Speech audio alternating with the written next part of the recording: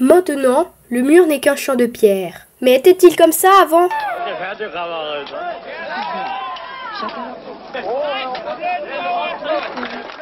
I take pride in the words, Ich bin ein.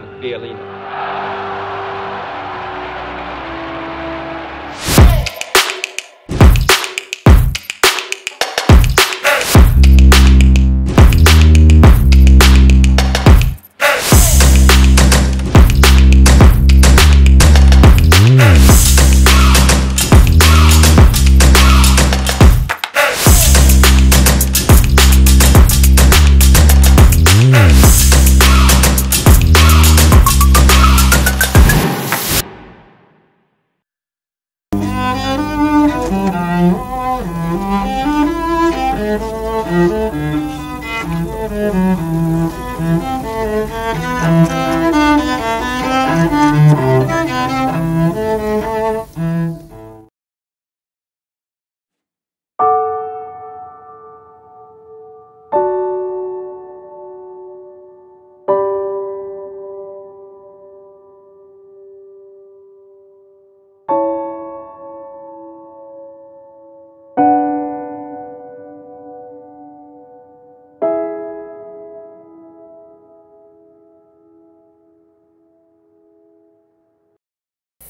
À cette époque, c'est la guerre froide.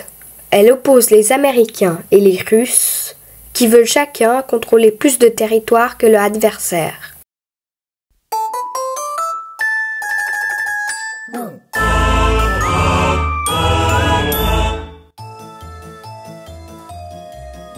En 1945, l'Allemagne nazie a perdu la Deuxième Guerre mondiale. Les pays vainqueurs prennent alors plusieurs places de son territoire pour l'empêcher de recommencer la guerre. À l'ouest de l'Allemagne, les États-Unis et leurs alliés anglais et français. À l'est, les Russes leur font face. Berlin est dans la zone russe.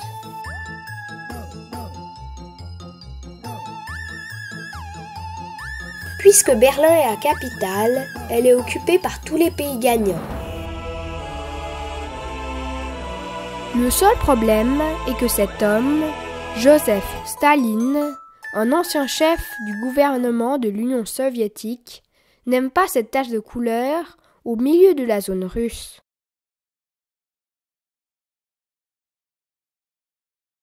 Il décida alors de couper toutes les voies de chemin de fer qui mènent à Berlin-Ouest.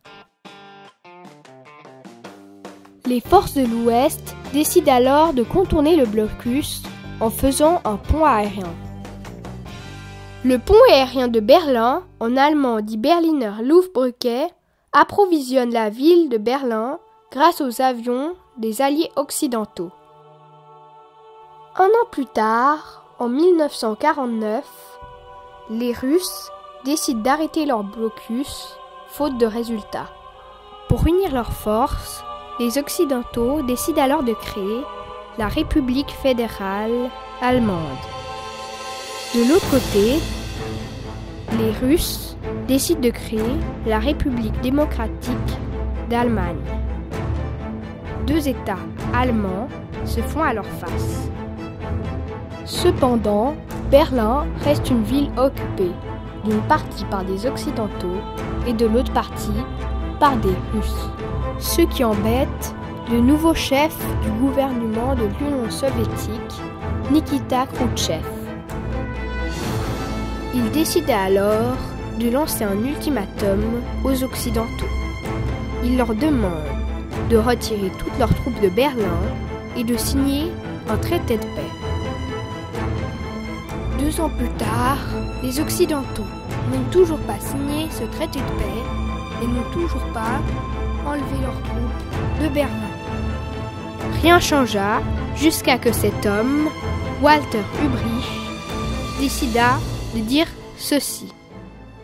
dass es Menschen in Westdeutschland gibt, die wünschen, dass wir die Bauarbeiter der Hauptstadt der DDR mobilisieren, um eine Mauer aufzurichten. Ja? Niemand hat die Absicht, eine Mauer zu errichten.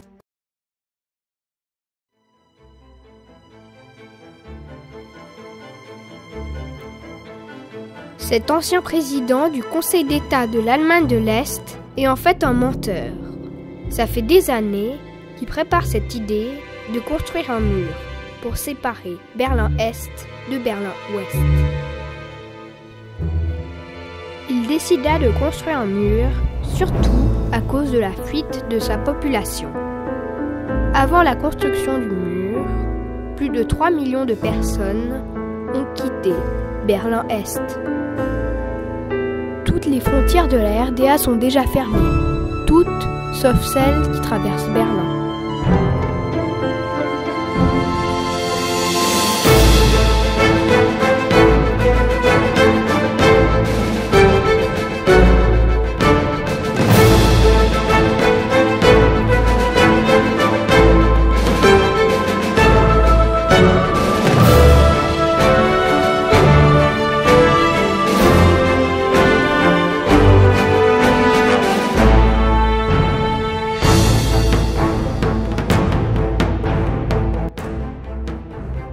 La nuit du 13 août 1961, le mur est alors construit pour séparer Berlin-Est de Berlin-Ouest. Berlin-Est et Berlin-Ouest sont alors totalement coupés. Les lignes de métro sont interrompues, même le téléphone est coupé entre l'Est et l'Ouest. Quelques personnes comprennent que c'est leur dernière chance de passer de l'autre côté. Rapidement, les fenêtres sont murées. Tout le monde comprend que la situation est grave.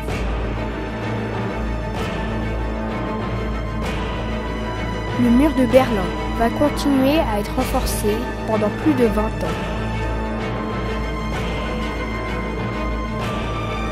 Désormais, il est plus difficile de passer d'un côté à l'autre. D'abord, traverser le mur qui fait 3,60 m de haut.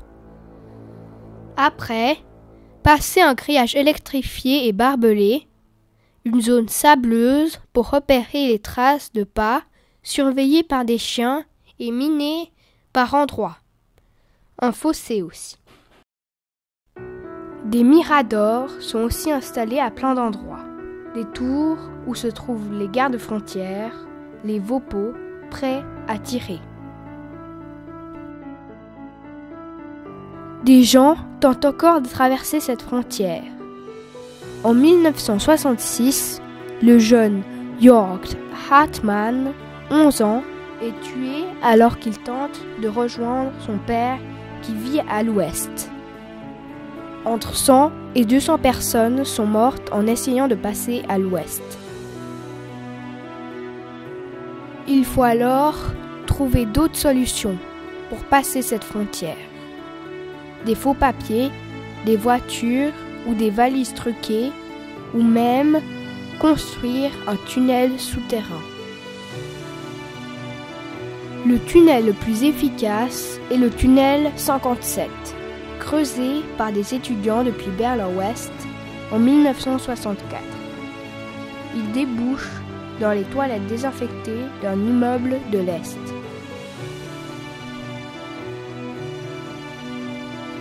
Mais les soldats découvrent rapidement leur passage.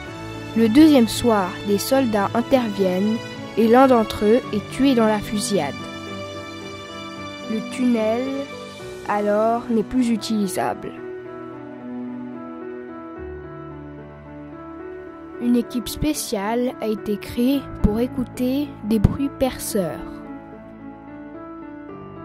En 1963, 790 000 Berlinois de l'Ouest peuvent venir passer Noël avec leur famille à l'Est. Mais ils doivent rentrer juste après.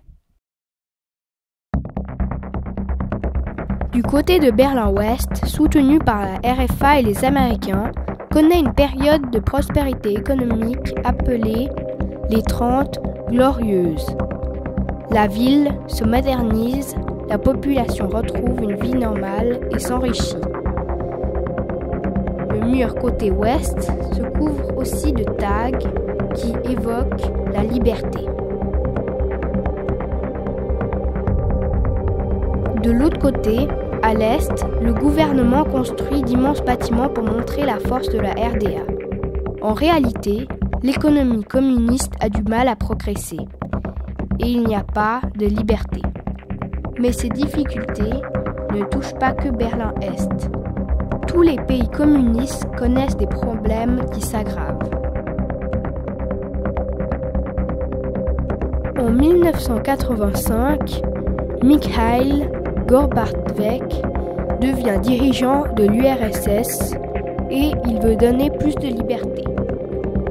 Il déclare que son pays n'utilisera plus la force pour contrôler ses alliés du bloc de l'Est.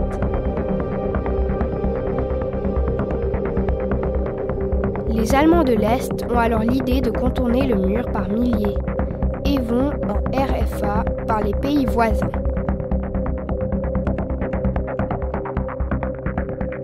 Après plusieurs manifestations regroupant des milliers de personnes, ce porte-parole du Parti socialiste unifié de la RDA, Gunther Schabowski, décida de dire ceci.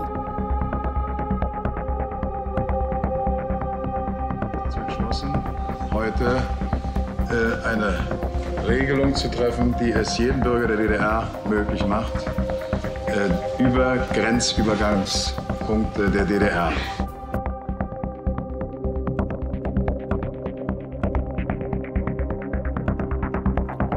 Mais il finit par faire une gaffe en répondant à cette question. Das tritt nach meiner Kenntnis ist das sofort. Unverzüglich. Le problème est que personne n'est au courant de cette réforme. Et surtout pas les gardiens du mur. Se précipitent à la frontière. Les gardes frontières finissent par résister un moment, mais en absence d'ordre, décident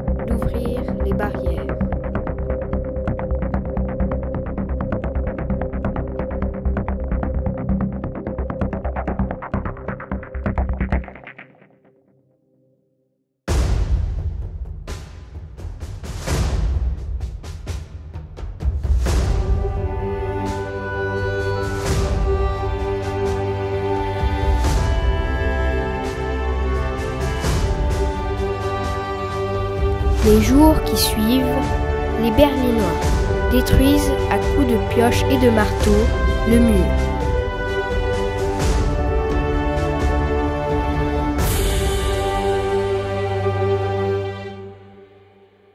Le mur de Berlin est alors tombé.